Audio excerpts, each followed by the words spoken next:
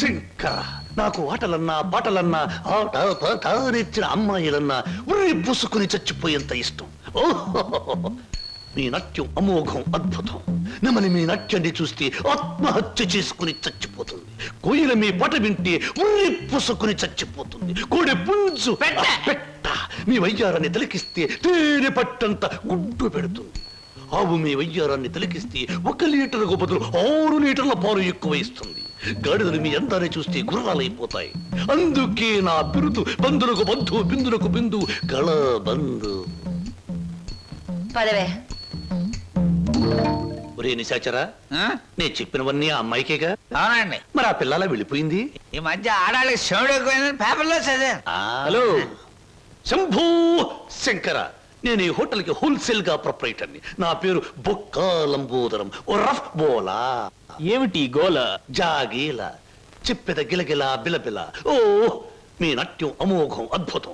ఆ అడుగు ఆ అడుగులో జిడుగు అందమైన మడుగులో వెన్నెల కథం తొక్కుతూ. ఓ ఏ మా కదలికలు భంగిమలు భుంగిమలు. మీకివే మా జోహాలు పెట్టలేము మీ ఆటపాటలకు చెడ్డ పేర్లు గిడ్డ పేర్లు. ఇటు తిరగండి. Thanks very much. సార్. ఏమిటయా అది మీ డాన్స్ బాగా చేశారండి. థ్యాంక్ యూ సార్ మీ స్టెప్స్ కూడా అదిరిపోయండి అదేంటయ్యా? స్టేజ్ బానే ఉందిగా? మీరు బాలే జోకులు వేస్తారండి. ఐఎమ్ సారీ సార్ మరి మిమ్మల్ని ఒకటి అడగాలండి. ఏమిటయ్యా? అది అదే మీ. అదే మీ చెప్పు. అది- అదేనండి మీ ఆటోగ్రాఫ్ కావాలండి. ఓ ఆటోగ్రాఫా? ఏం చేస్తారు ఈ ఆటోగ్రాఫ్తో? ఇంటికి వెళ్ళండి చూసుకుంటానండి. దాని తర్వాత? దాని తర్వాత మళ్ళీ చూసుకుంటానండి. బాగా చూసుకో. అలాగే. అడిగావు మా అన్నయ్యని?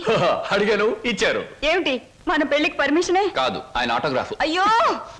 వెనకటికి నీలాంటి బుచ్చిబాబే బజార్కి వెళ్ళి బీరకాయలు పట్టరారంటే చెట్టెక్కి చింతకాయలు కోసుకొచ్చాడంట.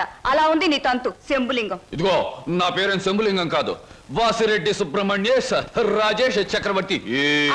మా అన్నయ్య దగ్గరికి వెళ్ళి మన పెళ్ళికి పర్మిషన్ తీసుకొచ్చేంత వరకు నిన్ను నీ పేరుతో పిలవకుండా నాకు ఇష్టం వచ్చిన పేరుతో పిలుస్తాను పిచ్చేశ్వరరావు. అబ్బా ఈ పేర్లు బాధ నేను భరించలేకపోతున్నాను. ఈసారి డెఫినెట్గా వెళ్ళి తెస్తాను లేదా మీ అన్నయ్య ఆటో కింద పడి చస్తాను. తెచ్చి చూపించు శంభులింగం. మళ్ళీ ఇదేమిటి? పోని సెటగోపచారి.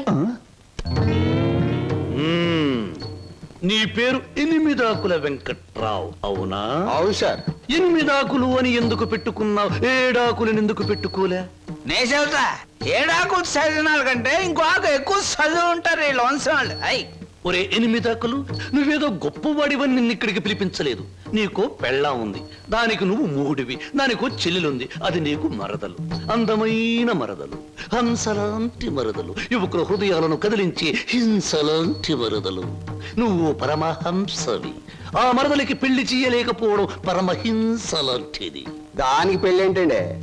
చూస్తాను చూస్తాను. అర్ధ రూపాయి రూపాయి దొరికితే పెళ్ళి చేస్తాను లేదని నేనే కట్టేసుకుంటానండి. ఒరే ఎనిమిదాకుల వెంకట్రావు ఇంకొక్కసారి ఆ కోత కూసావంటే నిన్ను ఎండుటాకులు చేసి అగ్గిపుల్ల గీసి ముట్టించేస్తే మాడి మసిపోతావు సమస్య ఆవేశపడండి. మొన్నసారి ఇలా ఆవేశపడి పిల్లరిస్తే కుక్కను చంపేశారు. ఒరే నిశాచరా. ఒరే, ఆయ్, నీ మరదలికి వెంటనే పెళ్ళి పెళ్ళా? నేనెలా చేయగలండి? ఇలా డబ్బు రేపు నీ మరదలి పెళ్ళి ఖర్చులకు గాను నీ మరదలికి నేను నిర్ణయించబోయే ఉత్తమ పురుషులతో పెళ్ళికి ఒప్పుకొనుటకు గాను. అందువల్ల మీ ప్రయోజనం ఏంటండి? తజ్ మహల్ మీద తాటికాయ పడినా పర్వాలేదు గాని ఈడుచ్చిన ఆడపిల్ల మీద ఈగ బారినా ఒప్పుకోను. పది మంది ఆడదాన్ని పది రకాలుగా అనుకుంటే ఇరవై రకాలుగా నాకు అవమానంగా ఉంటుంది. ముప్పై రకాలుగా బాధగా ఉంటుంది. నూరు రకాలుగా నా మనసు చెడిపోతుంది. అందుకే చెయ్యాలి పెళ్ళి సిద్ధం చెయ్యి వెంటనే వెళ్ళి. అలాగేనండి.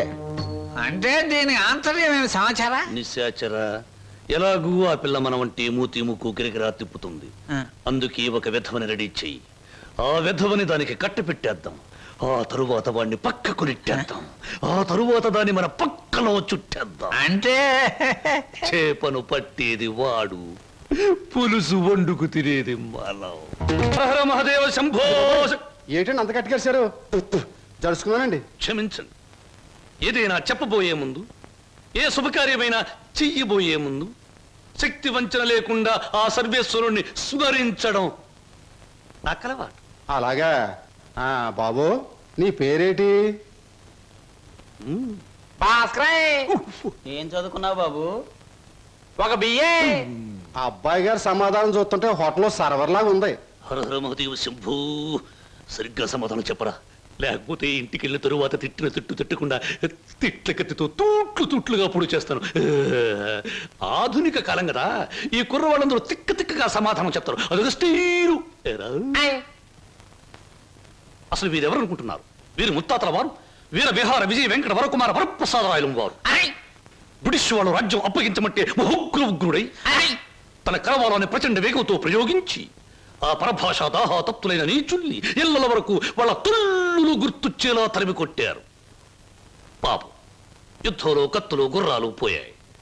ఏనుగులు పారిపోయాయి. ఉంటే చూపించుండేవాణ్ణి. ఆ? నిజంగానా?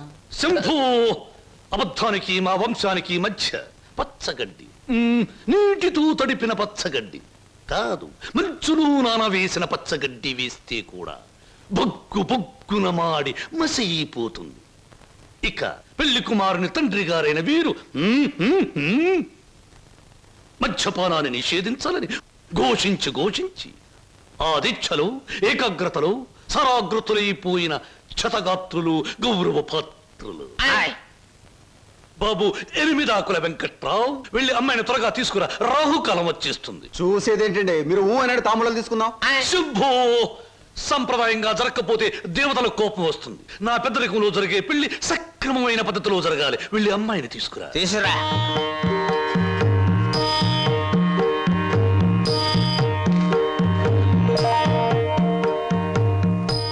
నమస్తే.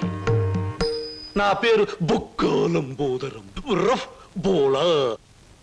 చూడండి మీ అమ్మాయి మాకు బాగా నచ్చింది. మా పెళ్ళి కుమారుడు కూడా మీకు బాగా నచ్చుంటాడు. వెంటనే నిశ్చితార్థం ఆ తరువాత శాశ్వత కళ్యాణం.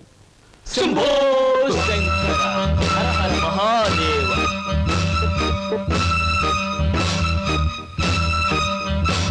బొక్కా లంబోదరం గారి ఆధ్వర్యంలో జరుగుతున్న ఈ మాయా బజారులోని పెళ్ళి చూపులు చూపుల చూపులకు పచ్చదనం కొందరి వీపులకు వెచ్చదనం so everything okay Shambho Shankara. పెళ్ళిళ్ళకు ప్రోగ్రాములు పెట్టిస్తారు కానీ పెళ్ళి చూపులకు కూడా ప్రోగ్రాములు పెట్టిస్తారు అనుకోలేదు. ఇంతకీ మిమ్మల్ని ఎవరు పిలిచారు? అవసరం అనుకుంటే పిలిచినా పిలవకపోయినా మేమే వచ్చి ప్రోగ్రాం పెట్టి వైన్ చేస్తాం. డొక్కా లంబోదరం గారు. అయ్యో, డొక్క కాదు బుక్కాలంబోదరం ఏయ్ ఏమిటది? పెళ్ళి చూపులు జరుగుతుంటే ఏమిటి అల్లరి? మరి అది బయటకెళ్ళండి ఓకే ఓకే ఓకే. మేం పెళ్ళి కొడుకు తరఫున వచ్చిన వాళ్ళం. ఎరా పరావు బాగున్నావా? ఏంట్రా మీసాలు కూడా పెట్టావు? ఏంటి నాయనా? బాత్రూమ్కి? అన్నట్టు యుద్ధంలో పారిపోయిన మీ నాన్నగారు ఏనుగు ఒకటి జమ్నీ సర్కస్లో కనిపించింది. మిమ్మల్ని అడిగినట్టు చెప్పమంది. చాలా సంతోషం నాయన. పిచ్చి మొండ ఏనుగులాగే ఉండేది. అట్టాగే ఉందా? ఎరా పరావు నీకు పెళ్ళం కావాలా? నీకు పెళ్ళి కావాలా? గురు గురు నీకు దండం చేస్తాను గురు. వీళ్ళెవరో నాకు తెలియదు వాళ్ళెవరో నాకు తెలియదు గురు. మీసం పెట్టి డబ్బులు ఇస్తామంటే వచ్చాను గురు. ఆ వదిలే గురు. డ్యూటీ టైం అయిపోయింది గురు. థ్యాంక్స్ గురు.